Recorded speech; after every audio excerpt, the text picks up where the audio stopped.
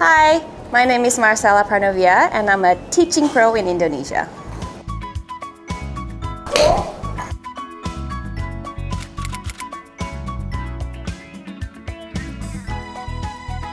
Jadi sebelum kita main uh, a tournament, uh, an official tournament dari few months before kita udah pasti latihan terus, right? Cuman leading up to the tournament, uh, intensitas kita latihannya juga berbeda. So we're not trying to hit 500 balls a day anymore. Uh, it's not about necessary. It's not about our swing anymore.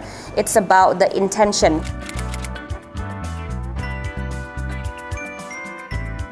So pada saat main turnamen, uh, either you're a professional or an amateur, you cannot have your phone uh, on you during a tournament. Sama sekali nggak boleh. Dan kalau misalnya ketahuan ngelihat handphone pun atau ada sesuatu, ada ring of your phone, uh, itu bisa berabe.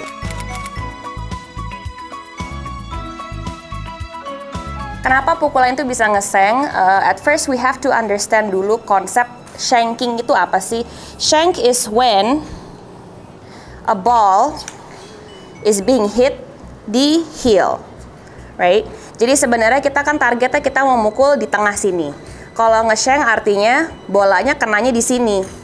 So nggak ada satu, uh, there's no one way of shanking the ball. Actually there's a lot of ways shanking the ball. Cuman konsepnya adalah yang harusnya di tengah, uh, club head lo maju Nah, itu bisa terjadi uh, pada saat mulai uh, backswingnya yang salah jadinya uh, downswingnya ngikutin backswing tersebut uh, or dari dari downswingnya ininya maju. So it's a lot of a lot of things that causing it but you have to understand first kenapa shank itu terjadi. It's because the club head goes front. Now you have to identify uh, your own unique way kenapa bisa maju gitu.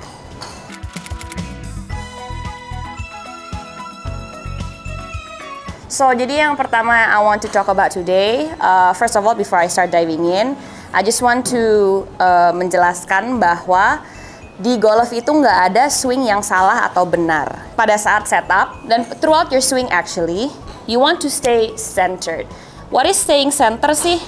Staying center is when you set up like this, And if you sway ke belakang, it's it's you're not staying center. Imagine if you have a line di tengah-tengah badan, right?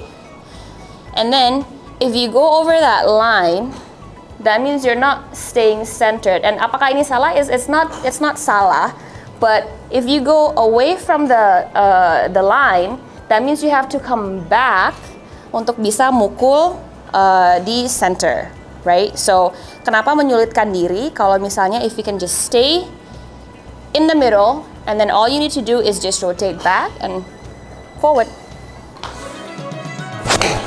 And I just want to remind you guys untuk jangan lupa ikut turnamen uh, Golf Periods di Suvarna Golf Jakarta tanggal 16 September 2022. There's a lot there's gonna be a lot of uh, nice goodies there and I'm sure it's gonna be a lot of fun. So, we'll see you there.